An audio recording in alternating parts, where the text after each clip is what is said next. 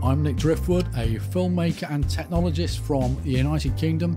I want to talk to you about Hybrid Log Gamma, the exciting new high dynamic range functionality in the Panasonic Lumix GH5. Hybrid Log Gamma pictures bring more realistic vision by allowing compatible displays to show more detail in the highlights and specular reflections, deeper colour tonality with 10-bit and Rec 2020 colour space, whilst retaining backwards compatibility with standard SDR TVs. Hybrid Log Gamma was devised by the BBC and NHK to bring HDR to the broadcast industry, especially for live acquisition and fast turnaround for studio material.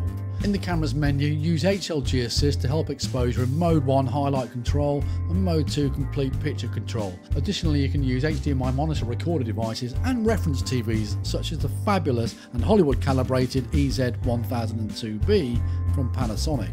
So how good does it look? We tried it out side by side, HDR versus SDR the GH5 HLG function and it looked fabulous. The SDR against the HLG on the right here, you can see the HLG has got definite more detail in the highlights, better tonality, like the clouds you can see much more detail and it looks so good you hardly have to grade it.